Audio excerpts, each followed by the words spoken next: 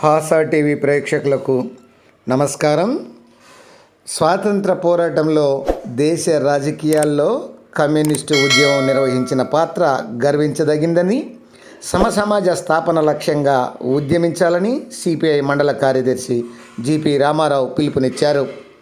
ఆదివారం సిపిఐ తొంభై ఏడవ ఆవిర్భావ దినోత్సవం సందర్భంగా కనిగిరి మండలంలోని వివిధ ప్రాంతాల్లో సిపిఐ పతాకావిష్కరణలు చేపట్టారు.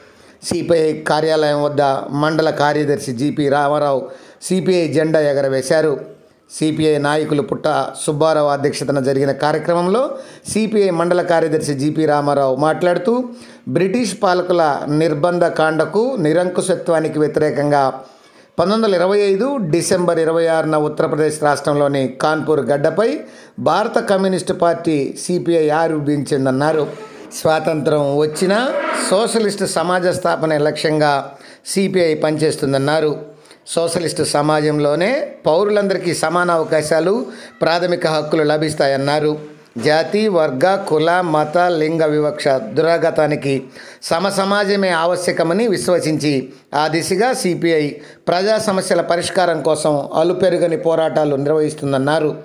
ఏనాడు స్వాతంత్ర పోరాటంలో పాల్గొని ఛాయలు కనిపించిన ఆర్ఎస్ఎస్ ప్రస్తుతం దేశ రాజకీయాల్లో చక్రం తిప్పే స్థాయికి చేరుకుని చరిత్రను వక్రీకరించే ప్రయత్నాలు సాగిస్తుందని మండిపడ్డారు.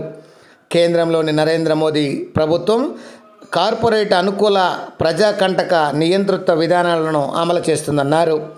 ఈ పరిస్థితుల్లో ఆర్ఎస్ఎస్ సారథ్యంలోని బీజేపీ ప్రభుత్వాన్ని గద్దెదించాలనే సంకల్పంతో దేశాన్ని ప్రజాస్వామ్యాన్ని రాజ్యాంగాన్ని లౌకిక వ్యవస్థను పరిరక్షించుకునే ఆశయంతో తక్షణం కమ్యూనిస్టులు కంకణబద్దును కావాల్సిన అవసరం ఉందన్నారు. ఆ దిశగా ప్రజా ఐక్య పోరాటాలకు సమాయత్తం కావాలన్నారు.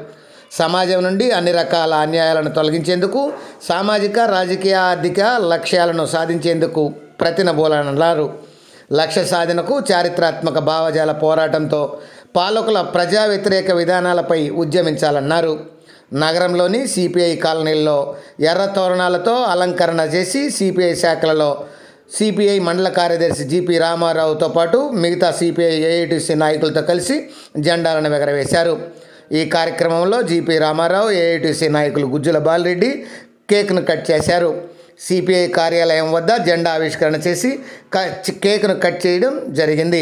ఈ కార్యక్రమంలో డిహెచ్పిఎస్ జిల్లా ఉపాధ్యక్షులు పండిట్ మోహన్ ఏఐఎస్ఎఫ్ నాయకులు సిహెచ్ పవన్ కళ్యాణ్ వెంకటేశ్వర్లు ఆంజనేయులు అమరుల్లా కోటయ్య అంకమ్మ చంచమ్మ మౌలాలి రామయ్య శరత్ తదితరులతో పాటు సిపిఐ నాయకులు ఏఎస్ఎఫ్ నాయకులు ఏఐటిసి నాయకులు పాల్గొన్నారు. కమ్యూనిస్ట్ పార్టీ ముందుకు పోవటం జరుగుతుంది. అయితే ఈ రోజు ఇటువంటి కనీస హక్కులు మౌలిక సదుపాయ సౌ- సౌకర్యాలు కూడా కనుమరుగైన పరిస్థితులను మనం చూశాము. ఈ రాష్ట్రంలో అయితే గత ప్రభుత్వం మనకు అనేక వాగ్దానాలు చేసి ఈ రోజు మరి గొప్పకున్న పరిస్థితి ఈ రాష్ట్ర ప్రభుత్వంలో మనం చూస్తున్నాం. అనేక వాగ్దానం చేసినప్పటికీ ఈ రోజు ప్రతి పేదవాడికి ఇంటి స్థలం ఇస్తాము ఇంటి నిర్మాణం చేపిస్తామని చెప్పినప్పుడు కూడా ఈ రోజుకి అది దానిని అమలు చేసే పరిస్థితుల్లో నేటికి కనిపించడం